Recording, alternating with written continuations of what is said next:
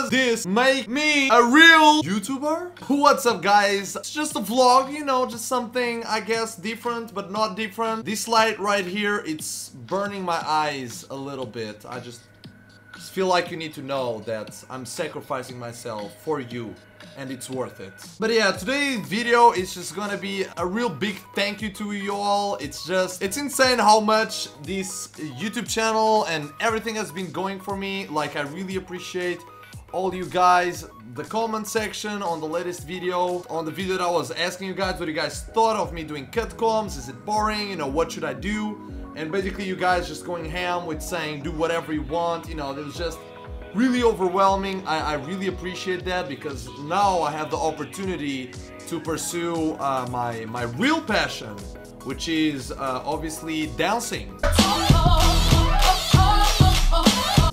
Yeah, one thing that I'm gonna like tell you guys right now was you guys remember I was an OpTic and I got kicked or dropped, whatever you guys wanna say. I cry every time when I remember that. It's just, it's too much for me. Well, I was solo after that for about, I think it was 3-4 months.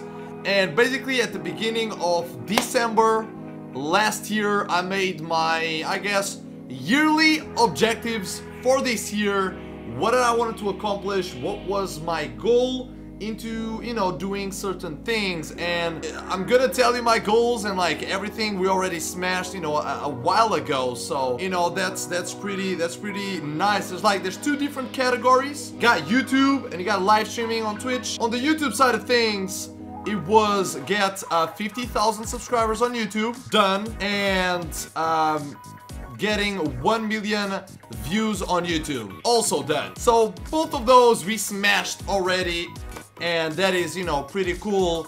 On, on the on the on the live stream side of things it was get a sub button. We did that January 3rd that was pretty awesome. And get at least 100 subs. We passed that already like it's just it's just everything is just going insane. Another objective was getting 20,000 followers on Twitch we're very close to 50,000. Getting 1 million views on Twitch, we already did that. And the last objective, which has, well, I guess, to do with both was to, you know, get into a big team, which, you know, it, it mean this. It, it definitely mean uh, being in FaZe, being here, grabbing this opportunity, and just enjoy my time while I'm in the team, try to help them, you know, try to grow my channel, and overall just work harder and harder. So you know, with that said and basically with all the objectives already complete, I just wanted to say a big thank you to you guys. Everything has been going insane. Hopefully we can keep going. We already reached 60,000 subscribers. That's just insane. The speed that we are going, it's just overwhelming. Stay awesome. Thank you so much for everything. Appreciate it. You guys keep it cool. I'll be here doing my stupid stuff as usual. And um, I'll see you guys guys on the next video.